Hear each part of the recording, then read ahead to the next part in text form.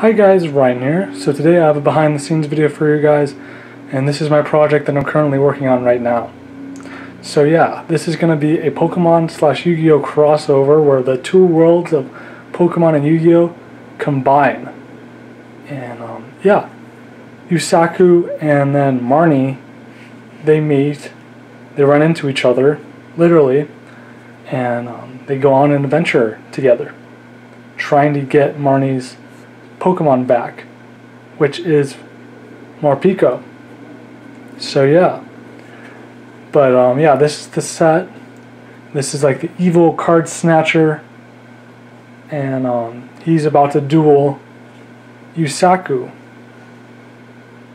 So yeah, I have this dragon here, which kind of looks like blue eyes a little bit.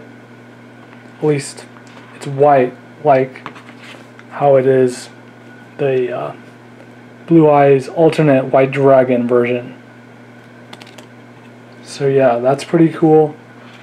And I'm waiting on the the second dragon to arrive in the mail.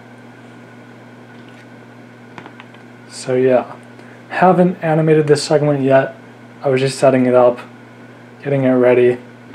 So here's Marnie from Pokemon Sword and Shield. And then we have Yusaku from Yu-Gi-Oh! VRAINS. So there they are. And these two are Figma figures.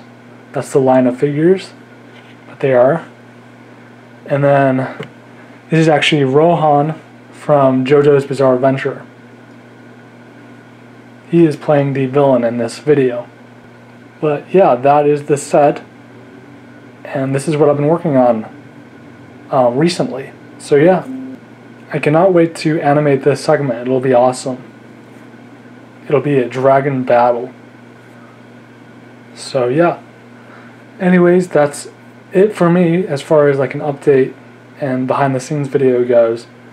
And yeah, hope you guys enjoyed watching. If you did, leave a like, subscribe if you're new, and until next time, peace out.